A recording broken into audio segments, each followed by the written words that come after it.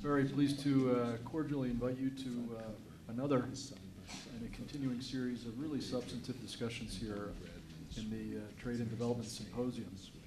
Uh, This one is on the digital economy and innovation, game changers for the multilateral trading systems, uh, question mark. So there's a, there's a built-in edge in this session by virtue of that question mark.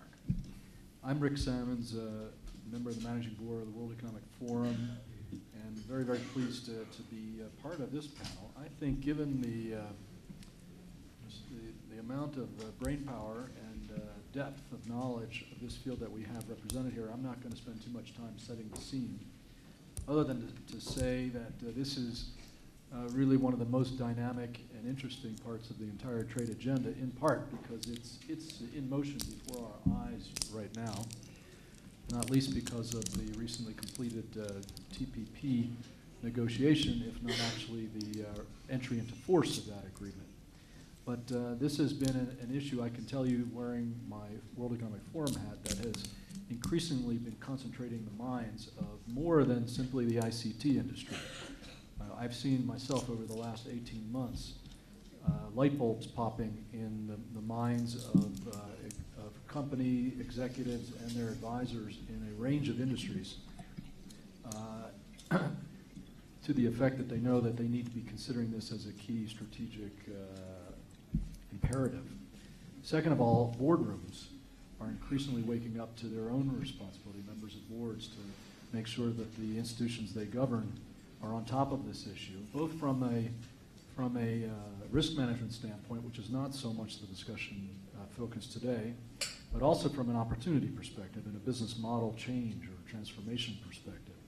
So I think uh, you know this is an this is an issue that is is spreading in its implications and significance across the economy, across different elements of the uh, of the polities basically, of various countries as well.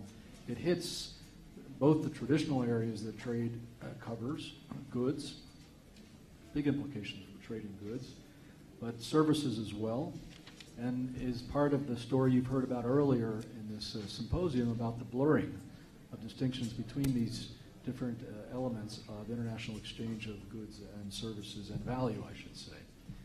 It, uh, it moreover, um, is move from a uh, from that more familiar terrain into the terrain of exchanges of data in an intermediate stage of, of a process of the creation of value. And here I'm referring to uh, data flows across borders that are not necessarily a finished product that a consumer buys, but are actually a core piece of the value chain of, of, it, of a company. And that is a, a, a new terrain, if you will, for most of the trade institutions here. Uh, and this is not just for uh, individuals who are now quite accustomed to accessing and relying upon data in a cloud for their own entertainment and, and uh, personal communications and whatnot, but increasingly uh, for companies in the so-called industrial Internet of, of Things. So th this then hits uh, traditional uh, border matters, but it also is increasingly uh, very much implicating a whole plethora of domestic or what have traditionally been considered domestic regulatory matters. And that, uh, that also poses a major challenge, I think, for the regime of how best to treat these, uh, these matters. I, would add uh, in that context that we're not only talking as most of you are trade uh, people, about areas of economic regulation. But there are also human rights elements here that are really significant and kick this issue way up the chain of command uh, into the cabinets and even before prime ministers. Uh, so we, we, are, we are dealing here with an issue that the, the international economic architecture is only beginning to get its arms around at the very you know, hitting a couple of macro points, but then there are also big, big sectoral uh, questions in play, not least in the banking uh, sector, which maybe we'll hear about further uh, here today. So let me, let me end with those very uh, quick and sweeping uh, contextual comments and uh, introduce our, our, our, panel here today. We're going to be started off by uh, the um, British ambassador, permanent rep to the WTO, and if I understand correctly, to the UN organizations in general in Geneva, uh, Julian Braithwaite, uh, who um, we're very fortunate to have in the midst of this uh, very, very uh, uh, charged and uh, intense couple of days here with the negotiations in WTO. After, after him, we'll go through the panel for some reactions. Uh, and uh, we've got Jean-Yves Art, who's the uh, General Counsel, I'm sorry, Assistant General Counsel for Microsoft. Gary Horlick, to the left of the ambassador, who's the attorney, law offices of Gary N. Horlick, who has extensive knowledge from both a policymaking as well as a private sector perspective. Carlos Primo Braga, who's director of the Evian Group, to our right at the end here, and uh, Mark Wu at the far end on the left, my left, who's assistant professor at Harvard Law School, who's been doing some very interesting scholarship in this domain. So without any further delay, Ambassador, the floor is yours. Thank you, Richard. Thank you very much for the introduction. And um, uh, to your first point about the question mark, I don't think that's a question mark. I think this is uh, what struck me. I've been in this job, um, uh, Geneva-based job for the last eight months, but what's really struck me is how the digital economy agenda just runs through uh, so much of what people talk about in the margins of Geneva, but not yet in the formal process in Geneva. We'll come back to that in a moment. And this is, um, this is a perspective from a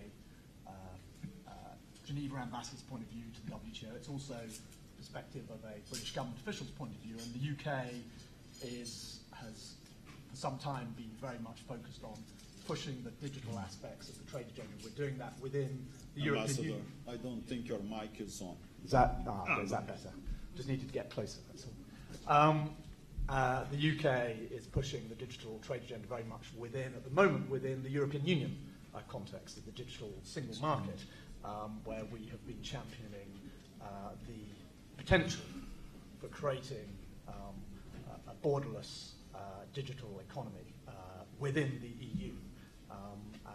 And there's, uh, there are issues there uh, within the EU which obviously are, are, magnified globally, but we'll come back to those. And I just wanted to really to make three points uh, to start off with.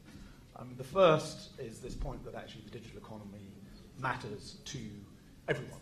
I mean, it's quite interesting over the road in the uh, conference centre where the ministerial is going on. Uh, minister after minister has been getting up today saying yes, we need to get a good deal on export competition within the framework of the Doha Development Agenda, but we then need to move on. We need to move on to these big issues that are really defining the global economy today, particularly e-commerce, services around that. Um, so, and this is not just developed countries that have been saying that, you've been saying developing countries saying that as well. Um, I mean, the e-com- e-commerce is worth an estimated about $14 trillion today. I mean, it was worth nothing when I started my career. Um, on the 11th of November of this year, Alibaba managed to sell in one day online 14, $14.3 billion worth of goods in one day. Singles Day. something called Singles Day. I, someone can explain to me what that is.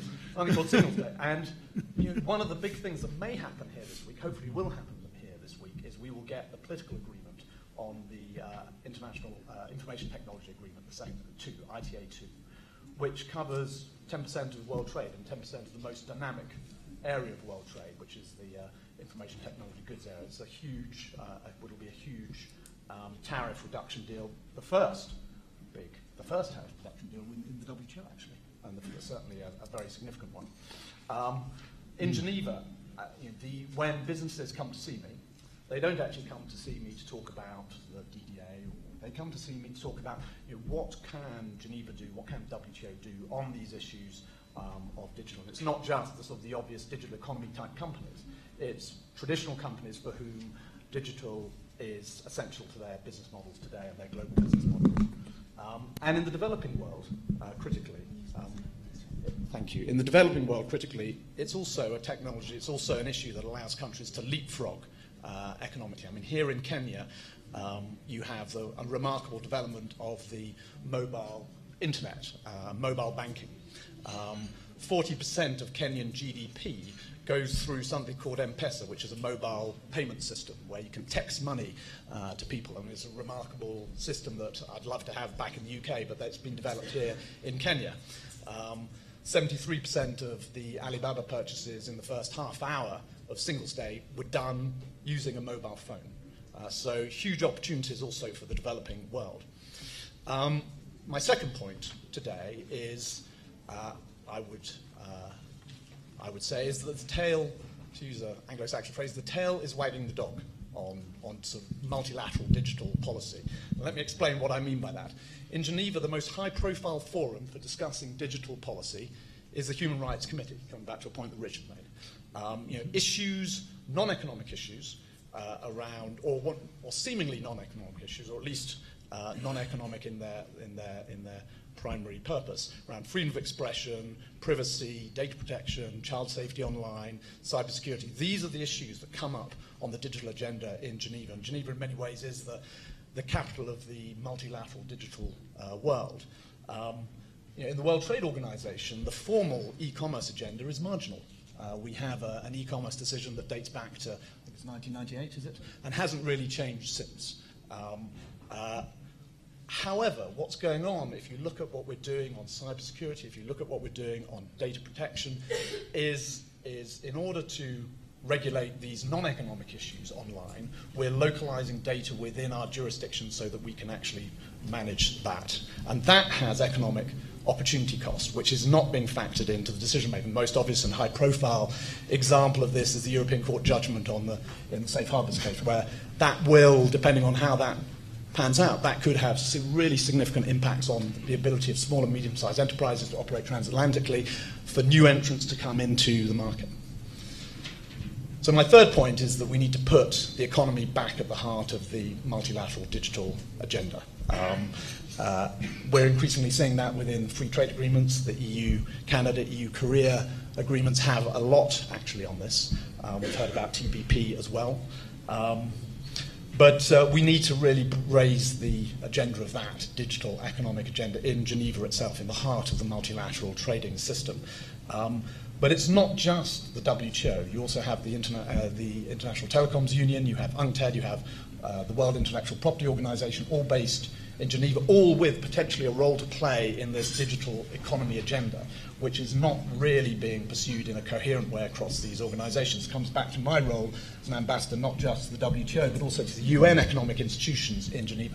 We need to bring uh, together a coherent approach across those institutions. We need to put a you know, at least a do no harm principle at the heart of our, uh, our policy making so that we, and, and we need to think about the economic impact of our digital decisions, our digital policy decisions outside of the economic sphere. So at least we can work out what, uh, uh, uh, what opportunity costs we're making when we, when we make those decisions on privacy or what they may be, which we may decide to do, but we need to know what the costs are. Um, so what in Geneva, I mean, the, the opportunities are now.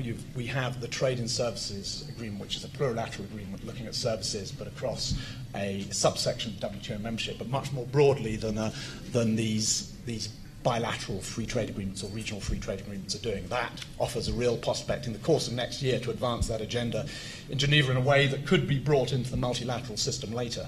And hopefully, as a result of this Nairobi ministerial, we will also move on to those issues more formally within the WTO, as well as pursuing the outstanding issues of the DDA agenda, which is important too. Um, uh, so, uh, really, I mean, perhaps two points to conclude. First, in order to advance this agenda, we need to build coalitions, uh, particularly, I'd say, in, in Geneva, of developed countries and developing countries who really want to, really see the opportunity, uh, the economic opportunity of advancing this agenda within our economic, uh, global economic institutions. Um, uh, and secondly, um, we need to have perhaps what I'd call a, a, digital global market agenda to complement what we're trying to do in the EU of a digital single market. Thank you very much. Thank you. Terrific way to start us off. Uh, now, private sector perspective, uh, Jean-Yves Art of Microsoft. Thank you very much. Um, thank you uh, for being here. Thank you very much for inviting me to uh, speak um, uh, on this panel.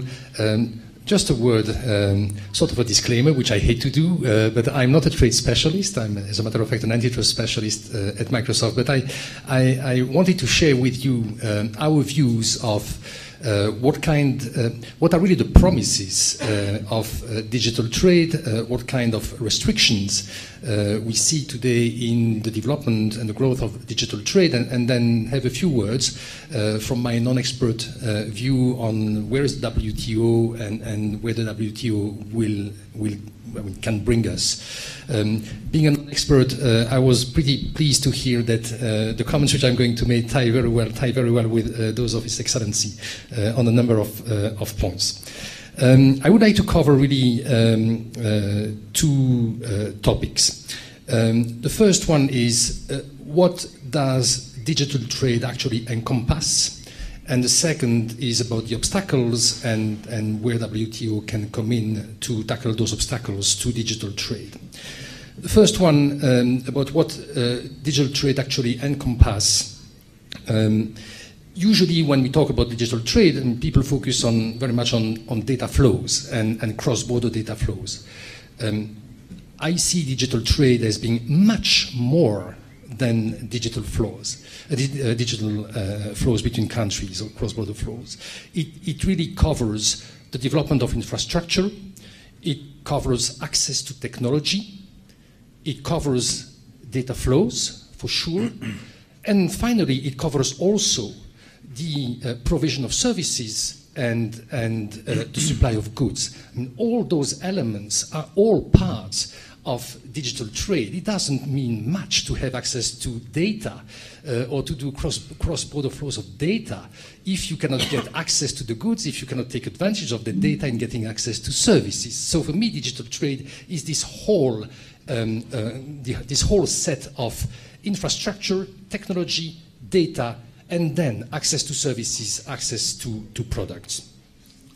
Um, and as a matter of fact, when you look at what the EU is doing at the moment in the field of e-commerce, uh, which could equate to digital trade, I mean, the, one of the first things that the EU is looking into are uh, geo-blocking restrictions, which is not access to data, it's access to services from one country to another. So for me, this is a proof point that digital trade is much more than simply access uh, to data. Um, second point which I would like to make by way of introduction when we talk about digital trade, and that's a point that I think you, you made uh, also, is it's not something which is really reserved for the large corporations or the, of the big technology companies. Uh, digital trade is in the life of everybody. Um, it's in the life of SMEs, it's in the life of, uh, of self-employed, it's in the life of, of farmers. Uh, do you know about the connected cows? No, okay. Well, let me tell you a little bit about the connected cows. Um, and, farmers, I mean, we, we, are all super busy, frankly. I mean, uh, when I see my life, it's getting early, getting, getting up very early, uh, getting to bed very late. That's nothing compared to farmers. Farmers, those guys are really working day and night, and they have plenty of things to do on a, on a, on a day. And one thing which farmers try to do is also see and try to, to, to grow their cattle, grow their production, improve their productivity, uh, grow the cattle, and uh, it's something which is easy to do because um, it so turns out that I've learned um, cows uh, can be inseminated during a very, very, very short period, a few hours, in a 20, 21 days period, I think. So it's really a few hours. And the farmer, among all the things which he has to do to maintain his, his, his business, has to find out when one of his 1,000 cows uh, are really at the right time to, to get inseminated. Now, it turns out that data analytics is helping farmers because data analytics has um, found a, a pretty accurate and reliable correlation between the period within which um, uh, artificial insemination is going to be successful and, guess what? The number of steps which the cow is taking during the period. It so turns out that the more the, is, the cow is taking steps, the highly and the higher the, the chances that artificial insemination during this period is going to be successful. So there is really a correlation between number of steps and chances of success of insemination. And what the farmer is doing now is that farmers in Japan, that's what they are doing. Uh, they are really connecting their cows to cloud computing and cloud computing to their smartphone so that they can measure the number of steps that the cows are taking. Those steps, I mean, those measures, those data is sent to the cloud. The cloud is comparing this to the data analytics, data analytics uh, results that I was mentioning before and saying, well, that cow is really walking a lot. And that's really the moment, the moment you could take it because it's really the right time. You are in the few hours when artificial insemination should be, uh, should be successful. And the message is sent to the, uh, to the farmer with the identification of the cow, and, and the farmer can then proceed. So this shows, I mean, the point here is data and data flows and, and digital trade is not something which is reserved for big countries, for large countries, not reserved for large technological companies. It is something which is in everybody's life. It is something which is in every business's life. I mean, this this connected cow story is a true story, something which is being developed in Japan, and it has enabled uh, the farmers to increase their cattle production. It has increased the farmers also to significantly increase their productivity in all the activities which they have, which they are handling. So these are the benefits of digital trade, uh, of um, access to, to, to, the flows of data. Uh, again, the data is going from the cows to the, to the cloud computing, to servers somewhere in the, in, the, uh, in the web, not in Japan, but in other countries, and then coming back to Japan. These are, these are flows of data, cross-border flows of data. Now, um, these are really the promises of digital trade for all of us. And what we see at the moment is really an increase in the obstacles which uh, companies, which individuals have to, to access the data. Um, and the obstacles are really many. Um, it's um, uh, data, loc data localization, data location rules, uh, according to which, for instance, data cannot be sent to other countries over borders. Um, uh, personal data, health data cannot be sent over countries, over borders without the user consent. Um, it is uh, data location rules which provide that um, personal data which is held by the government cannot be sent to other countries without the user consent. Um, it is uh, rules which provide, for instance, that um, the data can flow for sure, but the data must first be localized in the country, must be kept and stored on servers which are localized in the country, which means that um, if you want if you want have access to the data in a number of countries, you must have first a data farm in the country from where the data is going to be sent. I mean, this increases cost. And the more you have these kind of rules, the more you have those restrictions, the more difficult it's going to be to, to, to benefit uh, from uh, the cross-border flows of data.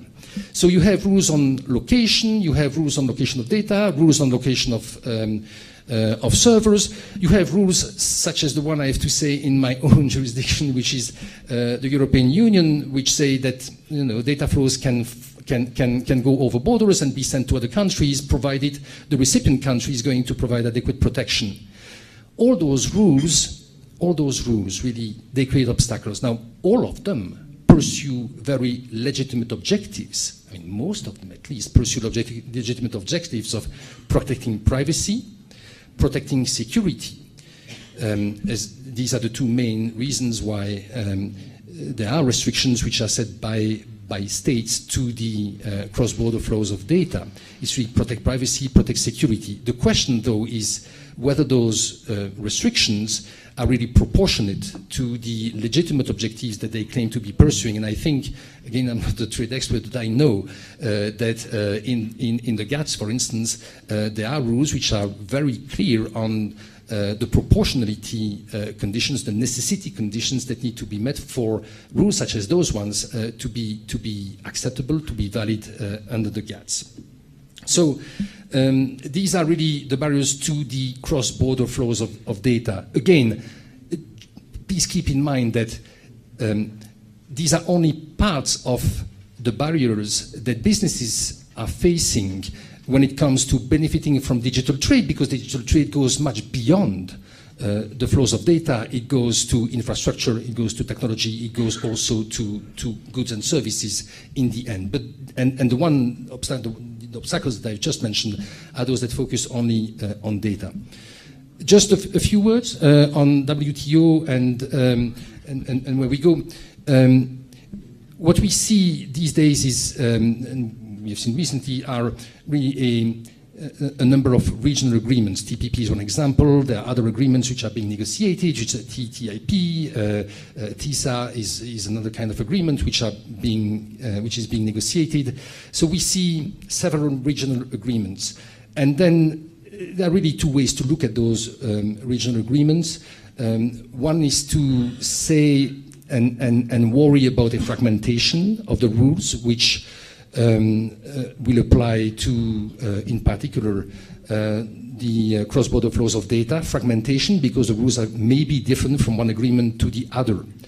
Another way, more positive, uh, more uh, optimistic to look at those developments is to see them as just one step in a move which is much more dynamic. Um, agreements such as TPP and TTIP are really building on uh, the existing WTO rules. They try to expand them to beyond uh, what the WTO uh, is. And what I would believe, but it, it may be a naive thing, uh, and, and, I will be very interested in hearing your reaction to that.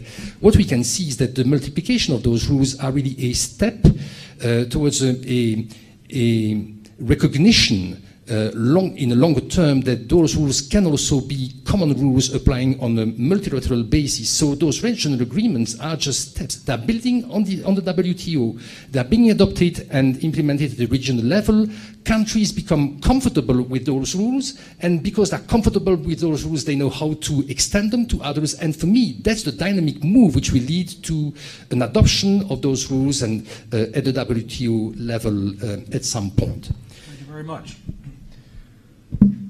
Gary uh, Horlick, I'd like to call on you now.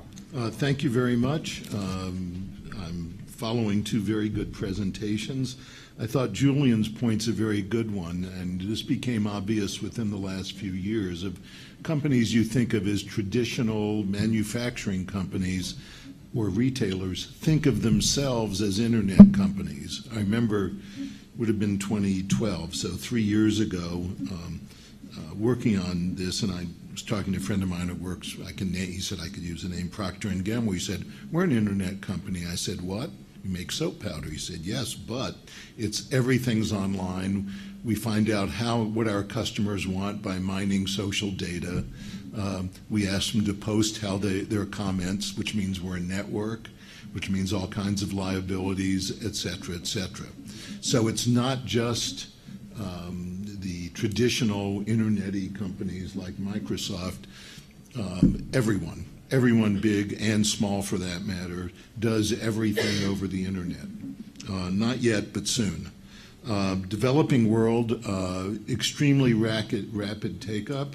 enables you to leapfrog things. Kenya's a good example in the M-Pesa, but it's based on the fact that it's wireless. You don't have to build out copper wires or fiber optic all over the country. So there's huge opportunities. This is just scratching the surface. We're all familiar with the future. Uh, the future is you or I, or anyone here, can buy anything you want from anywhere you want. That's radically different from any prior experience. If you wanted 15 years ago to buy something foreign, you went into a store and hoped that they had selected a range of products that happened to be what you wanted or you went to the foreign country. Um, and God help you post 9 11 trying to mail it home. Um, so um, th- this is going to change everything in ways no one has any idea. So I don't even pretend to project, just that it's a radical change in how consumers acquire things. They don't have to go to someone else's selection, and that's the biggest change in, I don't know, thousands of years, I don't know when the first store was set up. Um, the uh, the international side of it. So trade is not automatically international. The first trade was probably two very primitive entities trading salt for something else. Uh, was there a national border? No. So as technology has made it easier and easier, trade starts crossing artificially national borders. So we've defined trade as international trade which crosses borders. That's actually backwards. Um, so you get the same gains from trade from trading with your next door neighbor as you do from trading around the world. Now you can trade around the world. So the internet is going to make this possible in ways that weren't possible before. And this is happening so fast it's not thinkable. Um, will the rule, do the rules keep up? Of course not. I mean, that's never going to happen. So 1998, the e-commerce decision. 1998, the main U.S. legislation. 1998, Sergey Brin and Larry Page were discussing whether to drop out of Stanford to start a, a, a search engine. You know, it's not that far away, and it's eons away. Um, the internet was only released to the public by NSF in 1995. So we're talking about very fast development it, conventional wisdom has that X billion people will have access in X years. I've given up chasing the number. Everyone will have access within a very finite number of years, possibly including North Korea, the last holdout. So the, the question becomes do you need rules? So far, there haven't been that many. And what do they look like? Um, for my sins, I teach a course at Georgetown Law entitled The Internet with two friends, entitled The International Trade Law of the Internet. Uh, Mark has confirmed to me that it's the only one ever taught like that. So when we sat down to plan it, we realized there is none. There's no binding international rules for most internet things.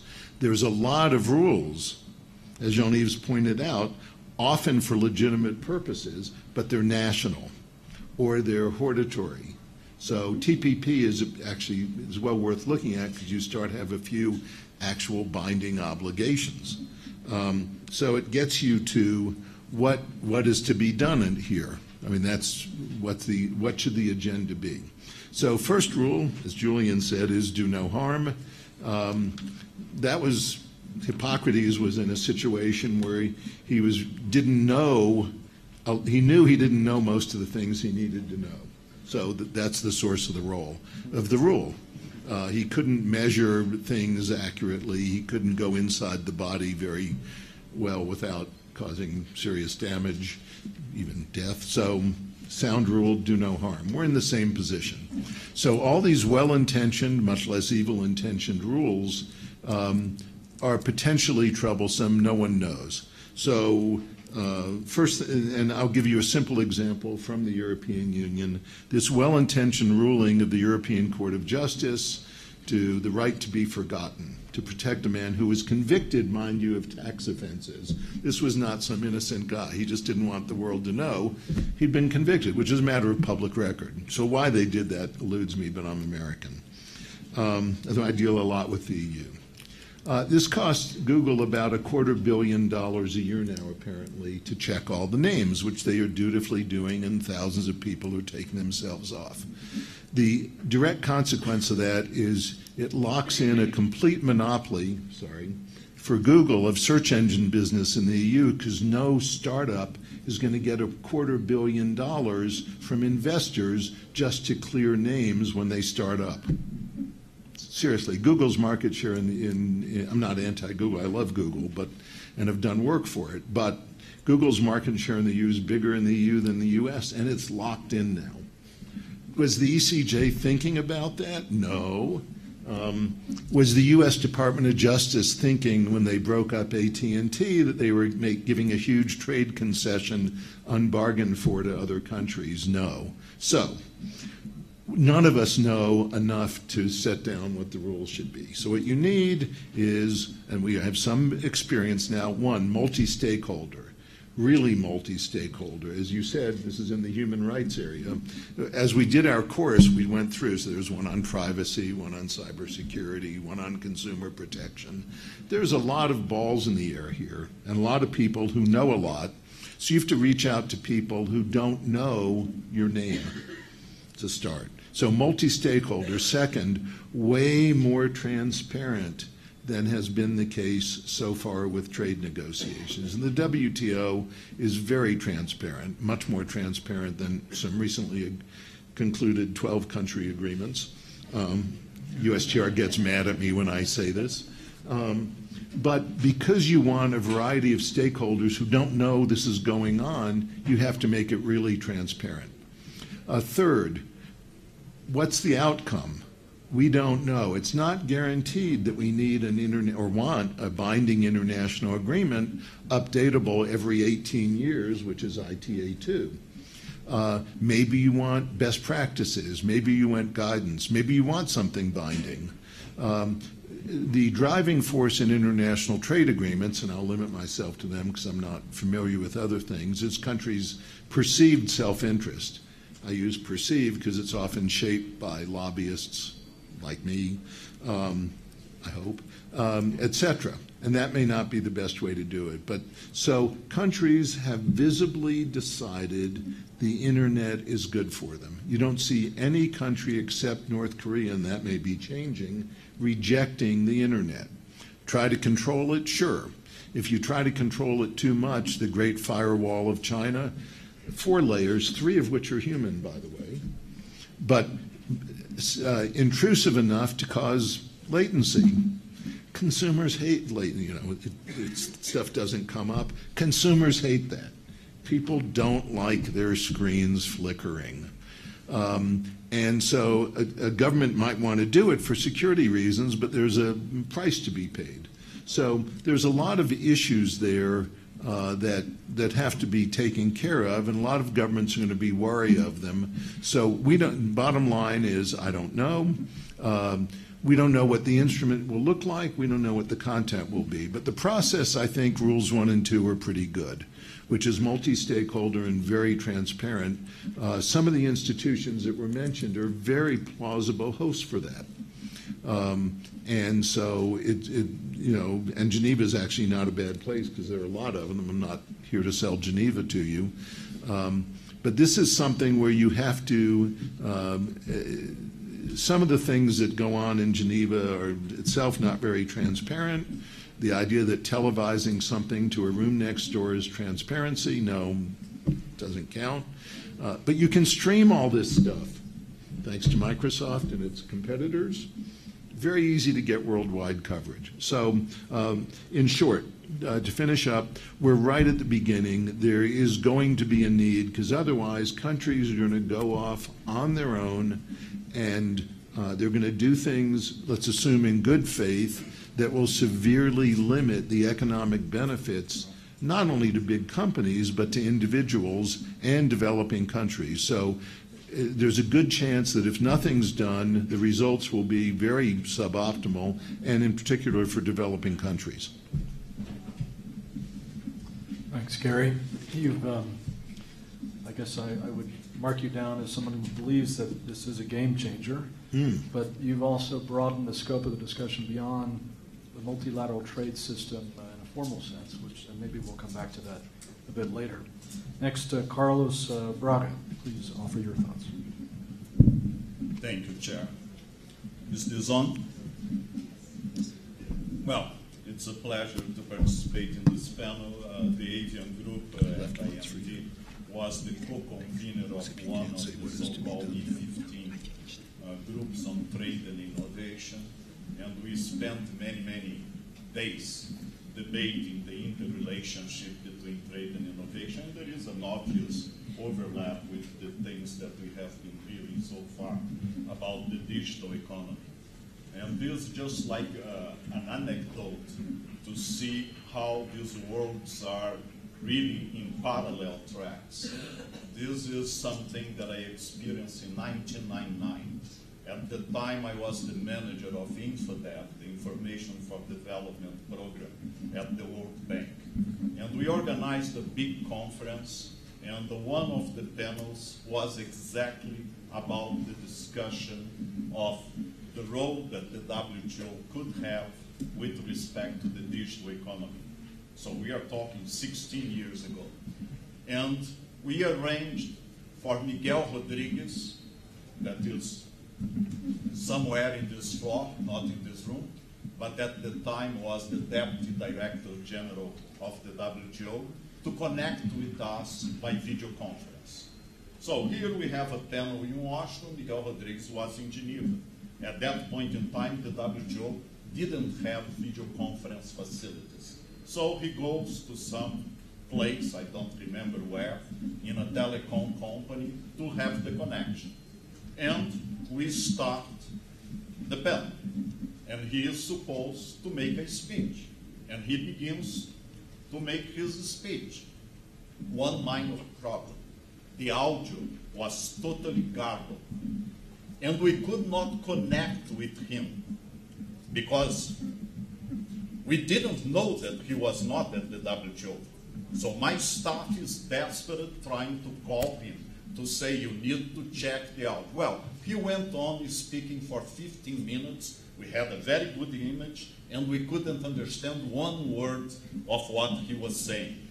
And he didn't have audio feedback from us. So it finished. Esther Dyson, that those of you who work in the internet era uh, know well, a venture capitalist, very well known. She was the next to speak. And then she said, Well, that's the WTO. Everything that they say is encrypted. so, this is 16 years ago. As Gary just pointed out, the WTO has made great advance in terms of transparency.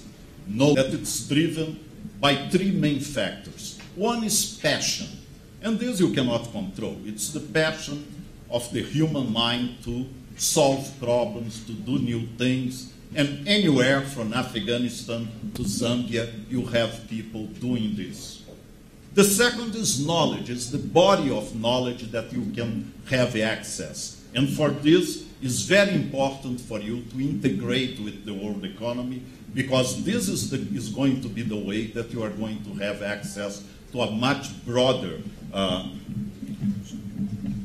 structure of knowledge, both formal and informal knowledge. And the third one, very important, and this is definitely related to the discussions in trade agreements, is the question of incentives. And these incentives go from intellectual property rights all the way to the rules of the game with respect to trade, investment, etc. So if you look at any country, you're going to see that passion is something that exists everywhere. But the interaction with global knowledge and the interaction and the type of incentives that different countries implement, of course, are going to affect how this passion to innovate is going to translate in changes, both breakthrough changes or simply the ability to explore globalization in an effective manner. So this was pretty much the kind of analysis that we did in the E15 group, and we tried then to translate this in terms of the rules of the game. Are the rules of the game that exist nowadays adequate uh, for the promotion of innovation? And it's important to recognize that the communities that deal with innovation and trade are very separate communities. I'm a trade economist, nobody's perfect.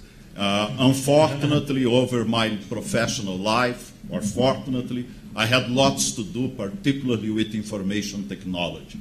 So I had some conversation across communities, but it's very interesting to see how these communities have different languages and how they approach same problems in very different ways. Now, Gary gave us a very good list of uh, quote unquote rules, and the first one that I fully agree is do no harm, because, for instance, going back to what is happening in the digital world, the whole pressure towards localization is creating significant costs that go well beyond what the governments that are forcing this localization of data could imagine.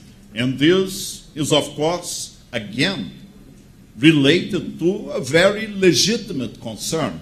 You know that in 2013, the president of my country, I come from Brazil, decided not to go to an official visit to the United States. And you know that official visits are a big deal. Why she decided not to go? Well, because it was exactly the moment through WikiLeaks that uh, it was found out that Harry Mayo uh, was being monitored by uh, the intelligence services in the United States. The joke goes that uh, instead of formally informing the White House, she sent an email to herself saying, I will not go to Washington. And this was enough uh, for Obama to learn that uh, Brazil was not coming to Washington. Immediately, Brazil led an effort for data localization. And many other countries have been doing this also with respect to concerns vis-à-vis privacy, etc. But as was pointed out, it's the law of unintended consequences. The costs can be quite significant, and this is the kind of impact that we should not forget.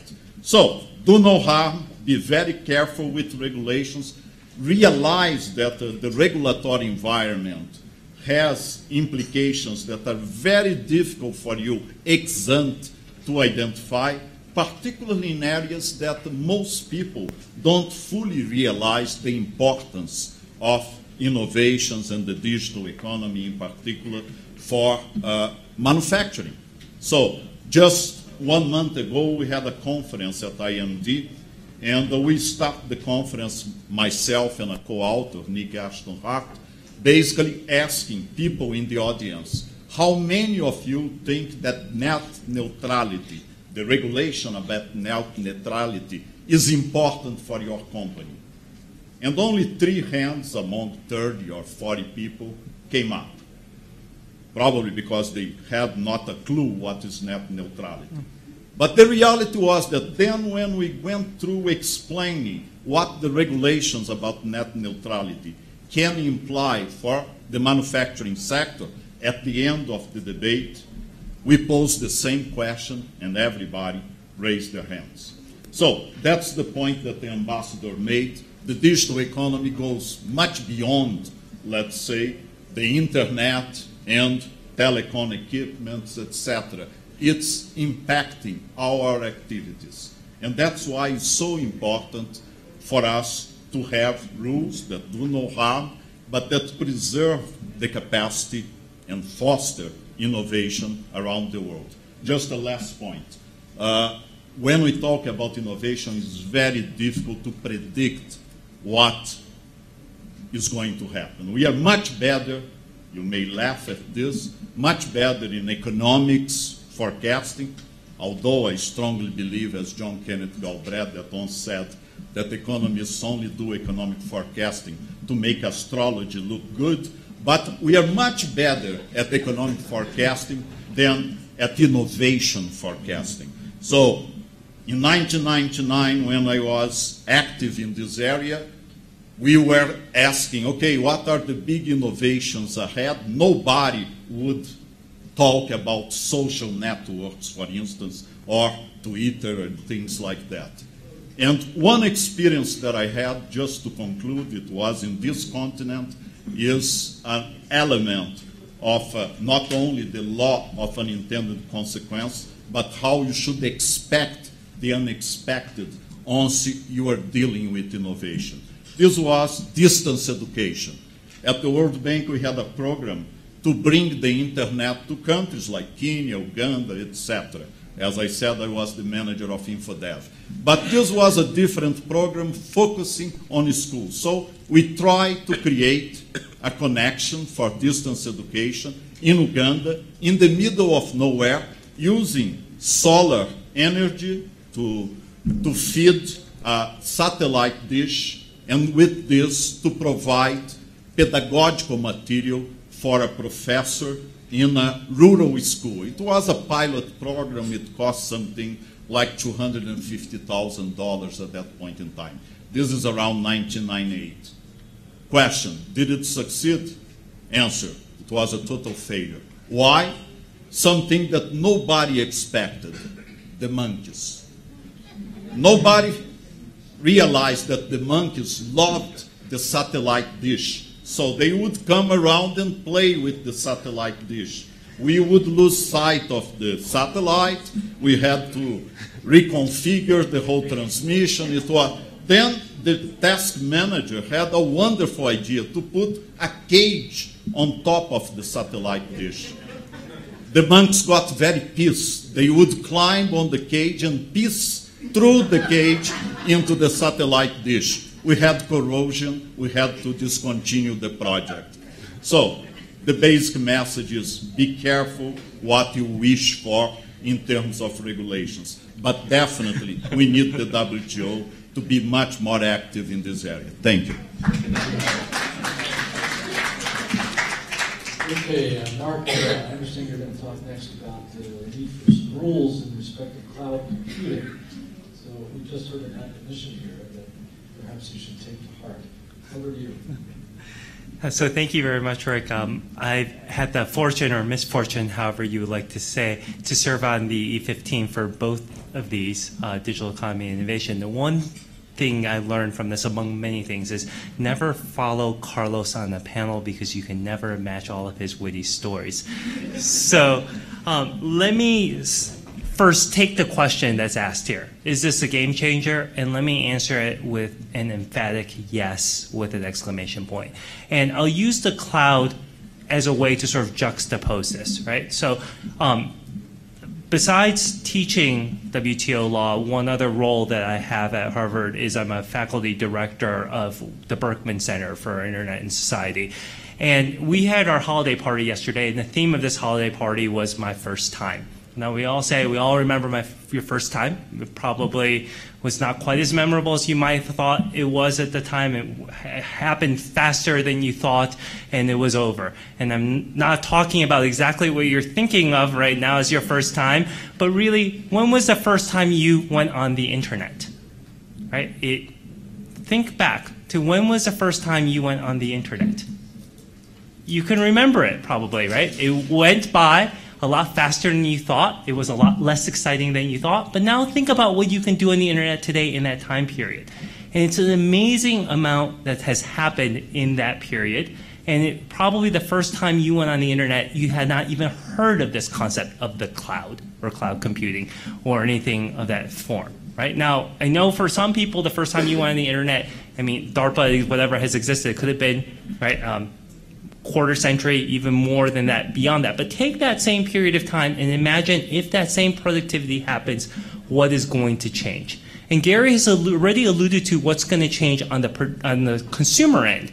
But I think there are going to be massive changes on the production end. And if there are massive changes on the production end, then the way trade happens is going to change. Now, Carlos has said it's a dangerous art to try to predict, but let me try to make a few predictions here in terms of what will happen in the production end. We've already seen how the internet and cloud computing in particular is cutting out certain middlemen, right? It used to all be about whether or not you had access to so on and so forth, who could then get your good onto the markets and so forth, right? Um, 3D printing is going to change all of that.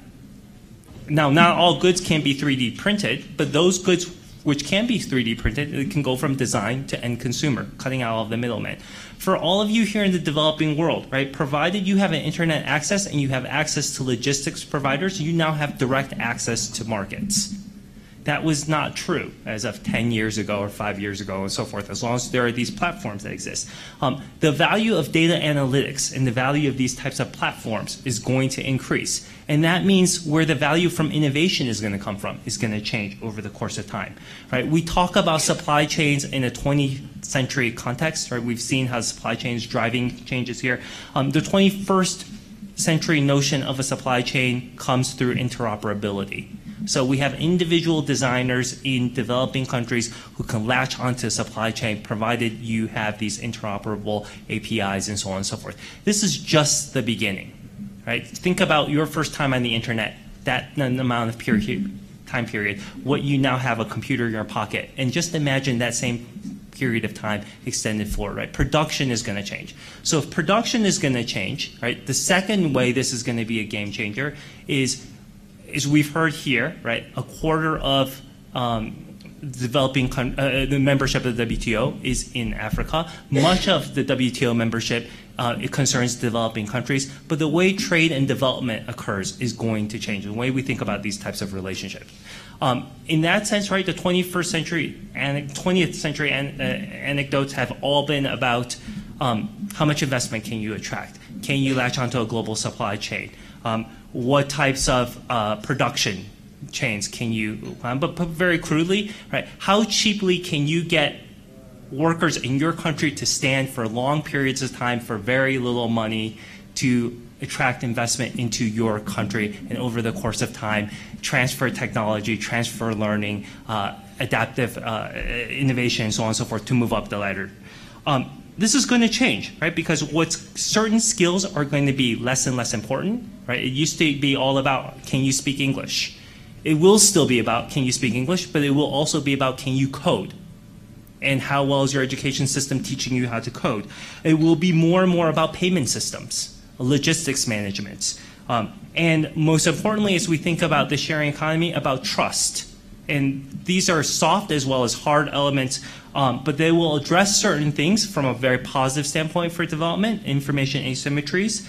Um, for example, right, we had the anecdote earlier about the farmers who, or, or about the uh, who gain certain types of information. Incomplete markets, right? We could argue payment systems were an incomplete market here in Kenya, which M-Pesa has now um, taken care of, right? On corruption, we have in India the the digital um, transfers to try to take care of the corruption between the middlemen there. So I think there are positive signs for development, but there's also this chance that just as certain countries were left off of this production chain for the 20th century, that will also be the case here in the 21st century. So I think the notion now of production changes, consumption changes, and the notion of development changes, that means definitely the trading system has to change because the trading system is a response to those three elements here. How is it going to change? Well, I think we will also see game changers in terms of the notion of protectionism and what types of obstacles will come into place.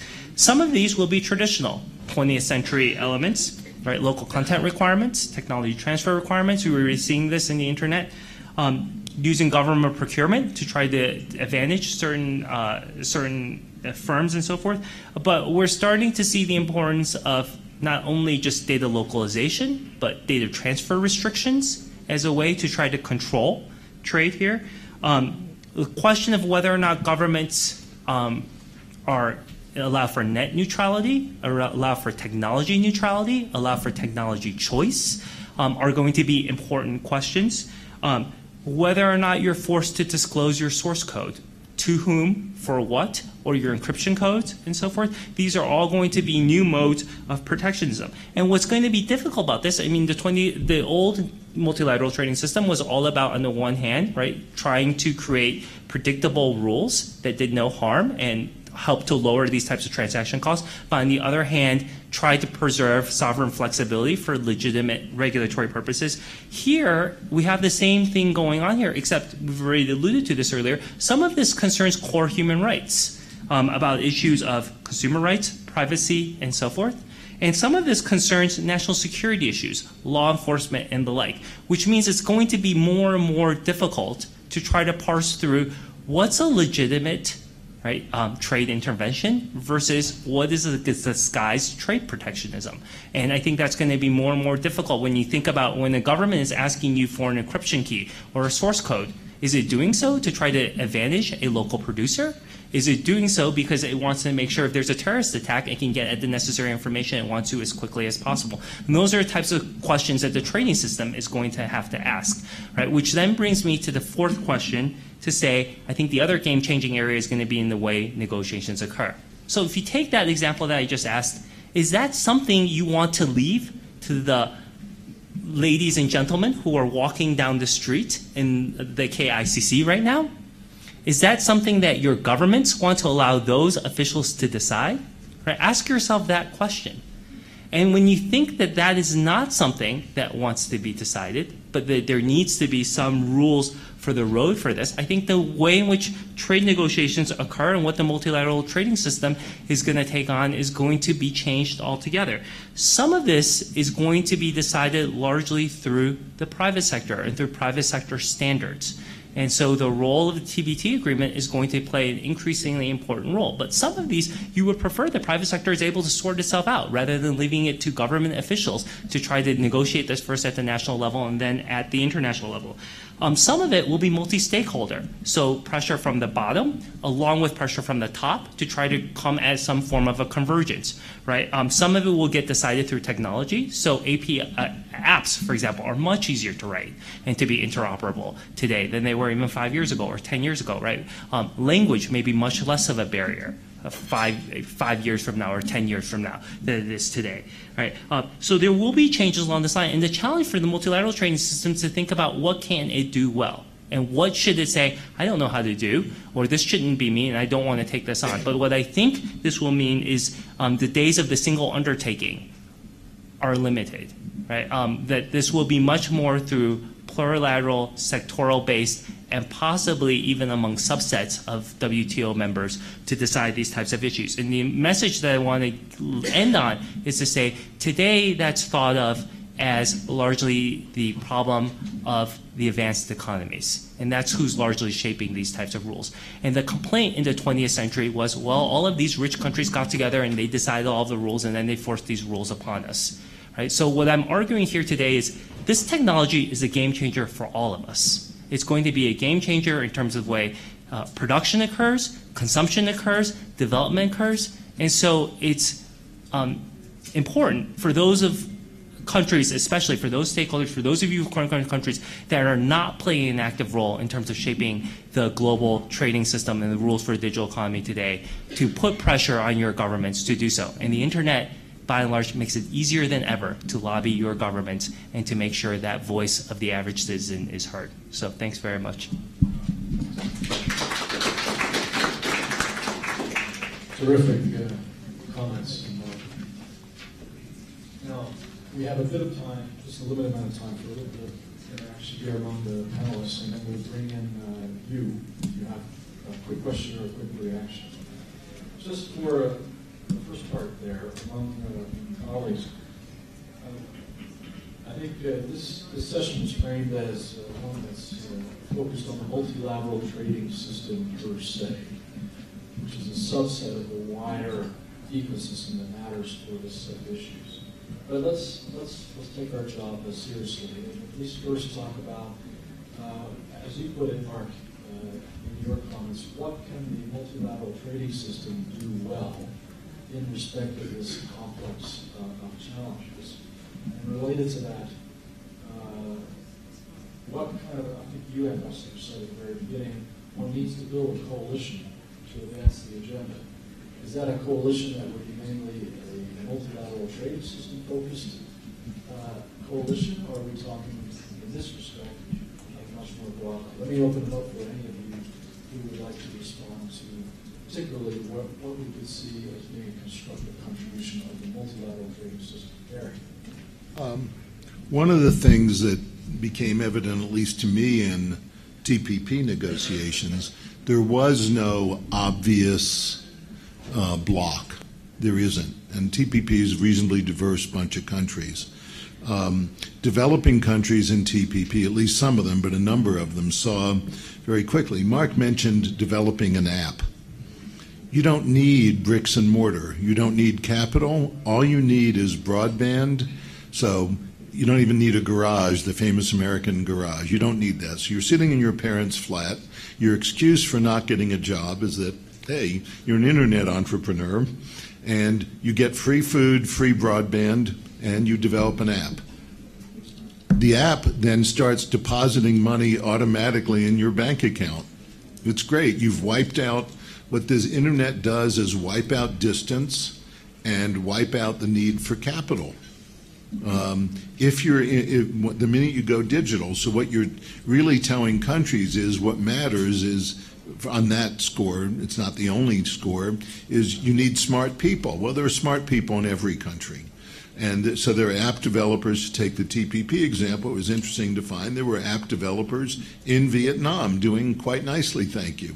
The government wasn't aware of it um, because the government doesn't know what they're doing, oddly enough. Uh, so um, you, you, want, what, this is up for grabs, in my view, as to who does it. Uh, but it can't be only governments. I'm not knocking governments. Governments inevitably will be behind because if you're not actually working in the field, you're not going to be up to date. Um, and so far, governments have not been at the forefront of this. Um, the I'm not I'm not going to give you a standard Silicon Valley government's bad speech. Obviously, the internet was developed by a government. Um, but there has to be an interaction between the two, or you won't know what you're doing. But it's not developed countries versus developing. Some of the developed countries are way more backwards legally than some of the developing countries in terms of internet. Thank you. It may sound odd from a, coming from a government representative. I think you're absolutely right. This can't be about a, it can't be a coalition of governments coming together to push this forward. I, I mean, if in a way, if the most important thing is to do no harm, you need to make sure that people who are regulating, when they're regulating the internet in ways that they think have nothing to do with the economic um, uh, potential, that they do understand the, the the economic consequences of what they do. So you do need to have people who are advancing the, the, the opportunities as well. And, and you need to get beyond the sort of the standard government divisions on this, which, as we've heard, is sort of, in, certainly in the WTO context, has been sort of divided between developed and developing, and bring in the business communities of a, play, of a country like Kenya into that debate, because the businesses here know exactly what the opportunities are if they can sort various things that uh, get in the way of them going global, if you like, with their uh, innovations here and using uh, what they've been doing here in order to expand and develop further. And quite a lot of that is about getting. Uh, ensuring that the regulations that are being put onto the internet for very good wider public policy reasons are designed in such a way that they don't cause economic harm, that they do actually allow this enormous potential of creating a global marketplace which is accessible by an individual, not even in a garage, but in their parents' flat or in, a, you know, in an apartment in downtown Nairobi, and able to access that global market from an apartment in downtown Nairobi or anywhere else in the developing world. Make sure that that potential is maintained and indeed exploited. And a lot of that is around probably ensuring that the, digi- the digital regulation that's going on elsewhere doesn't stop that from happening. And this comes back to this issue of, I mean, you know, put simply, the data local, localization issue, but obviously it goes much broader than that. So you need a coalition of, of countries that, that want to advance this, but also particularly of the business interests and of you know, the, the entrepreneurs and the innovators to come around and ensure that we understand what this means for their lives and what this means for their ability to, to really have that sort of extraordinary exponential impact economically that the uh, internet uh, provides. You may have noticed, uh, Carlos, you, that uh, Jack Ma, the uh, founder and CEO of uh, Alibaba, has called for a quote-unquote EWTO for the purpose of scaling unfettered SME access to consumers. Uh, it, that, that agenda is not necessarily completely defined yet. However, you can see that um, there is, uh, within China, uh, that's a very, very important impetus for, for policy right now. At the same time, I the flag that yesterday in uh, around Shanghai, there was a, a global internet governance conference, which the Chinese president said, actually, we, I'm paraphrasing here, I will obviously was not there. Basically, we believe in the flow of information internationally. However, we reserve the right to regulate within our space. We think that other countries should as well. So we are very much in a, uh, shall I say, a period of ferment in this entire domain, not only in the areas we're talking about here in the various dimensions of economic uh, regulation and trade policy, but even in the larger set of principles that govern this area. And the, task first told us, Ambassador, of to enable coalitions to form of countries, irrespective of region or level of economic development, to try to sort out some of the, the, the, rules of the road, whether they be binding or more informal, is a very considerable one indeed. Yeah, no, just to reflect on this question about the rules of the game, and I think Mark made a very valid point. Uh, are the rules of the game for the digital economy too important for us to leave with all due respect to the ambassador to trade negotiators? And I would argue yes, because the lack of understanding is significant. And uh, we can get major surprise. At the same time, we should not be naive.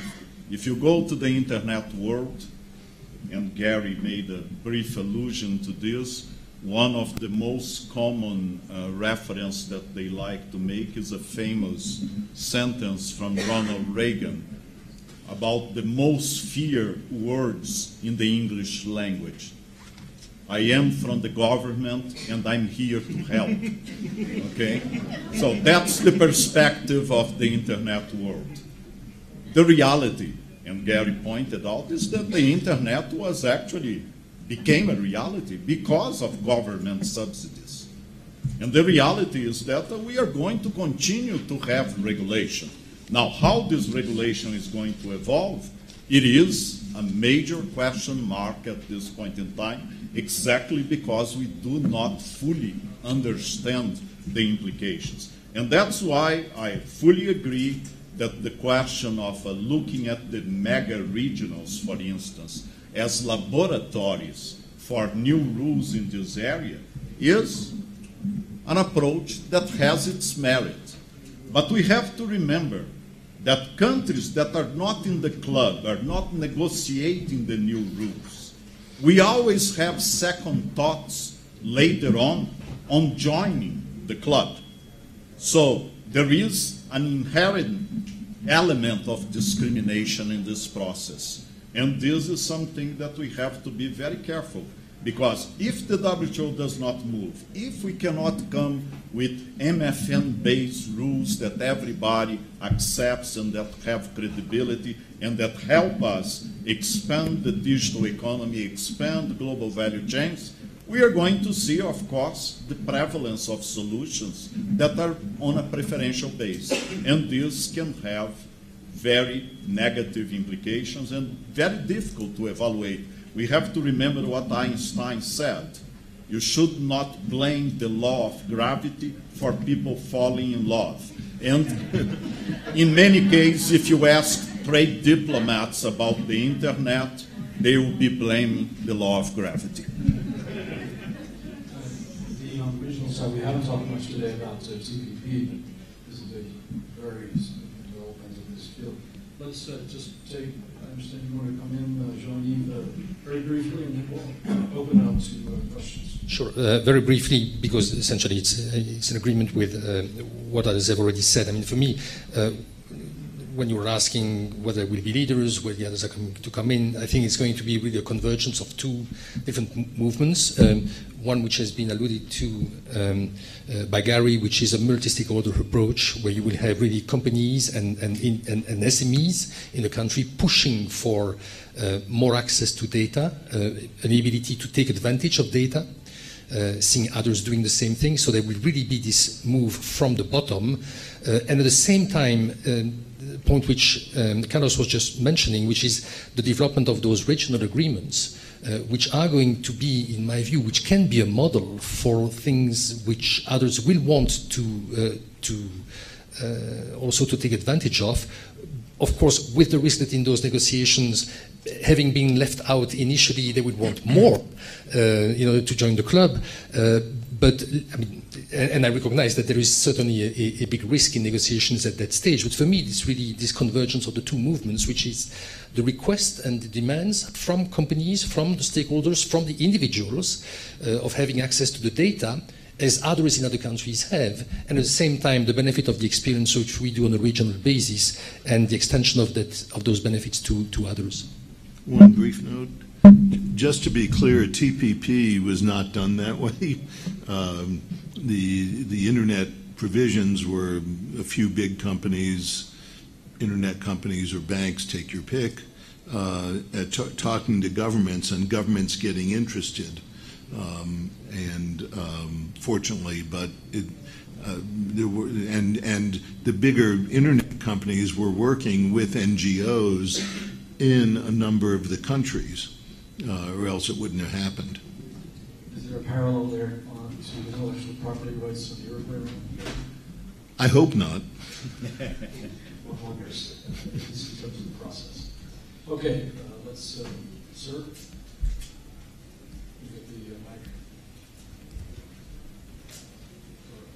maybe just uh, the lady in the front row first, and we'll come back to you. Sir. Uh, Good evening, ladies and gentlemen. So my name is Wanja Kirago from, uh, I own a company called East African Online Transport Agency. We connect uh, cargo owners to trucks, effectively an Uber, uh, but for the trucking industry.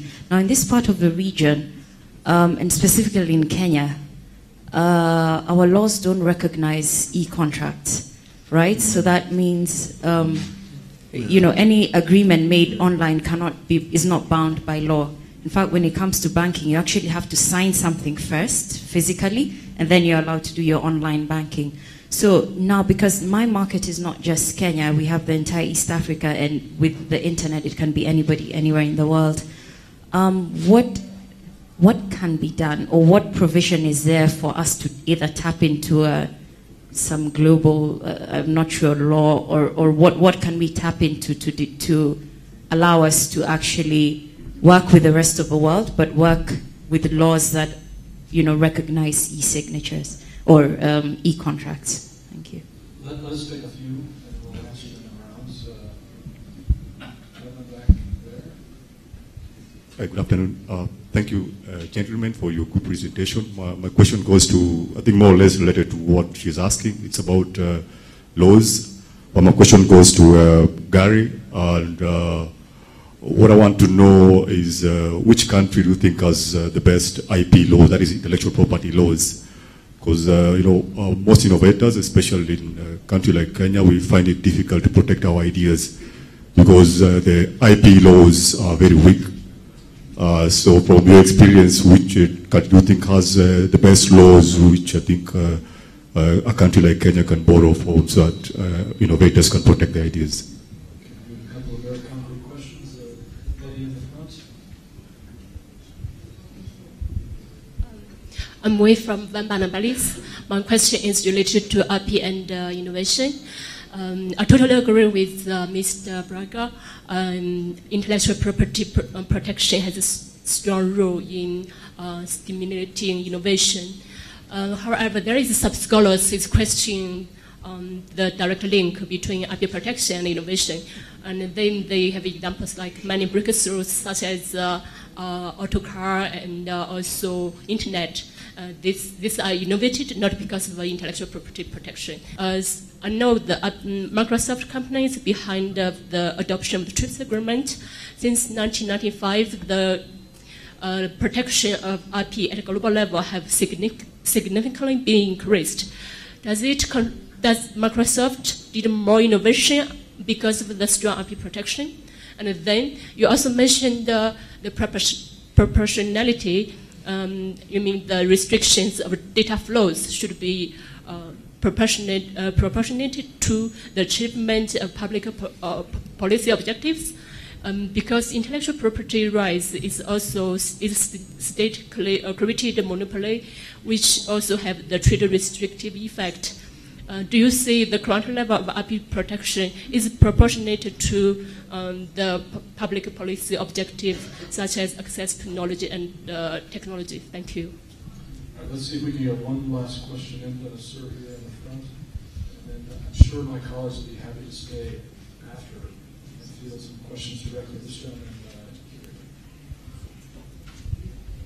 uh. Thank you. My name is George Wangala. I run a business incubator at Impact Investment Hub in Western Kenya. I know digital economy is quite, uh, it's extremely dynamic, and uh, it's a very competitive field too. And looking at LDCs and developing countries, our access to internet is quite, you know, uh, very wanting. So how competitive can we be uh, in the digital economy uh, field? And lastly, uh, there's been a lot of focus when you talk about innovation. We look at tech-based inno- innovations. How do we move from you know tech-based innovations to looking at innovation more into redesigning processes and structures? Thanks. I'll invite my colleagues to pick uh, one or two of those questions as they deem appropriate to respond to. Gary? Let me start with the first question. I don't have a firm answer for you, but, um, and I don't think there's a place where there is one.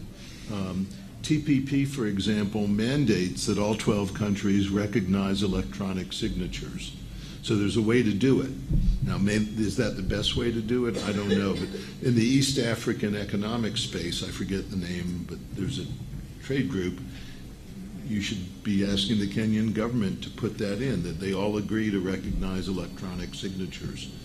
Um, but I don't think any, I've not seen anyone collect all of this in one place. And TPP isn't even in force yet, but you know, the 12 countries decided it wasn't, no one was forced to agree, you know, to do that. So uh, you're, you're, the, you're on the right track, but maybe you could get East Africa, there is an East African economic grouping, so it'd be, you could at least ask, maybe they won't do it.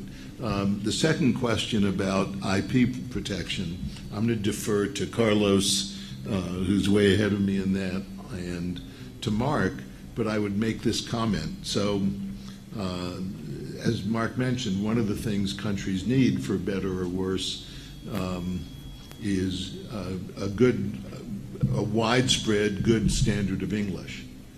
You may be the only English person here, it occurs to me, but for some reason, English is a necessity as a language. Um, and if you give every kid a relatively inexpensive tablet and broadband access, they'll learn, a kid, I mean like three or four, they'll learn English really fast. Now, you run into all kinds of, oh no, that's a bad, you don't want kids addicted to screens. You, you know, there's content issues of protecting content. Um, uh, the cultural people will go crazy with, you know, oh, it's, it's all American sitcoms. I have students who can tell me everything that ever happened in Game of Thrones in perfect English. I, I asked one of them who's from Kazakhstan, so she's 23. I said, you know, where'd you learn English? She said, in Kazakhstan. I said, I mean, she had no accent at all. And I said, but did you study in the UK, in the US? She said, no, is the first time I've ever been out of the country. She learned it all watching television. um, and, you know, I can just see parents all over the world saying, oh no.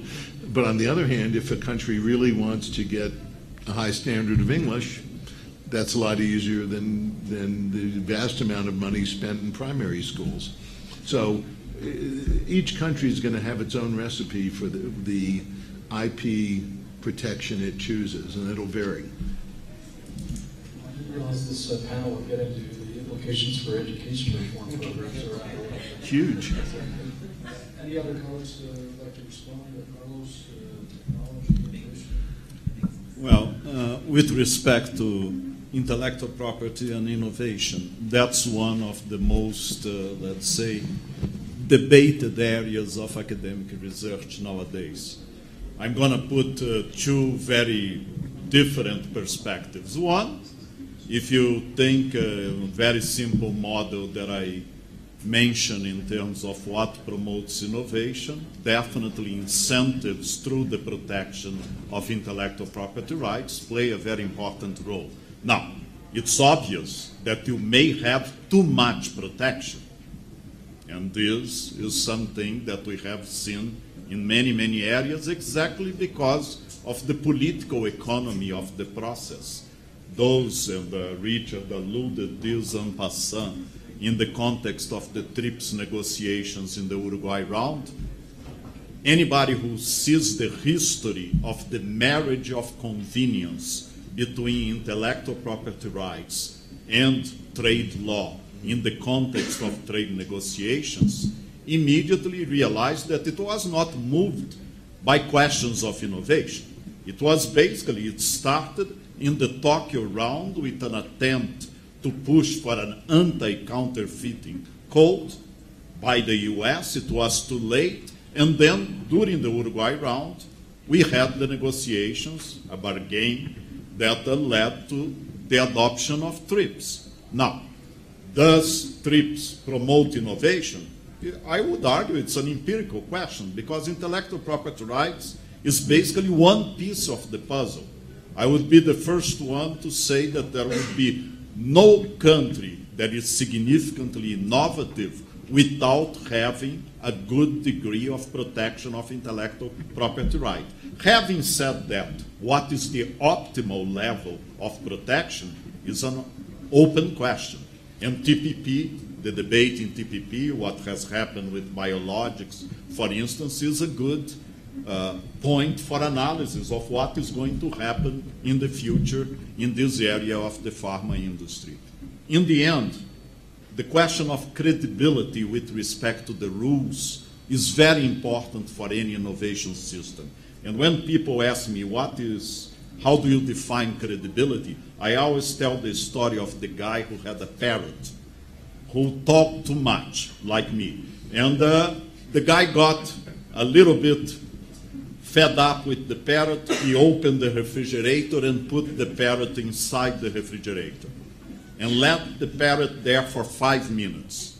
Then he opened the door, took the parrot out, and said, Do you understand that I'm serious? And the parrot said, Yes, now I understand. I'll behave. Just tell me, what did the chicken do?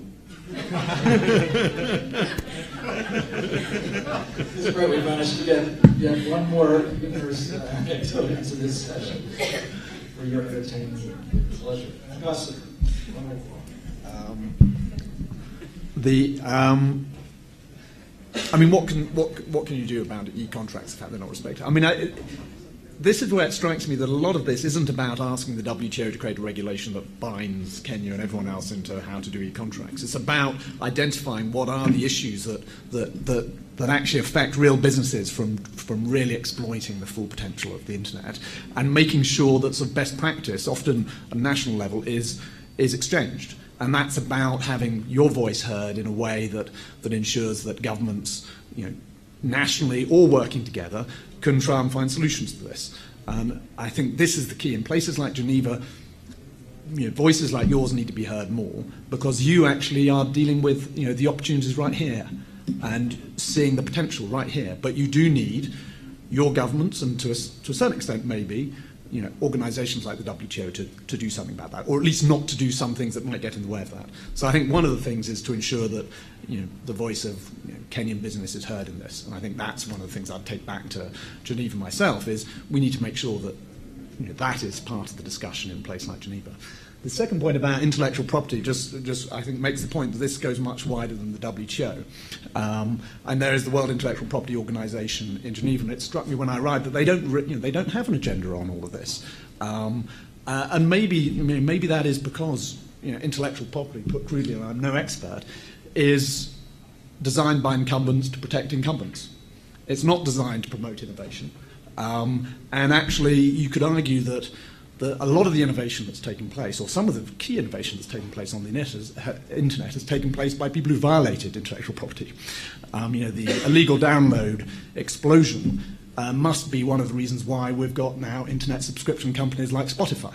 A whole new business model that wouldn't have existed if people hadn't voted with their feet against what, if you like, the owners of content were saying, which was trying to transfer online what they were doing offline. And people basically just ignored that.